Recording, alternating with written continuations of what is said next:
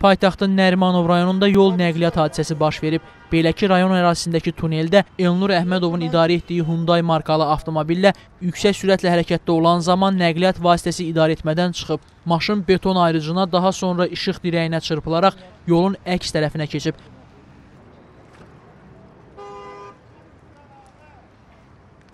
Sürücü isə qapalı kəllə beyin travması alaraq xəstəxanaya yerləşdirilib. Qəza nəticəsində Ziya Bünyadov prospektində hər iki istiqamətdə tıxac yaranıb. Əraziyə Nərimanov rayon polis idarəsinin əməkdaşları cəlb edilib. Faktla bağlı araşdırmalar aparılır.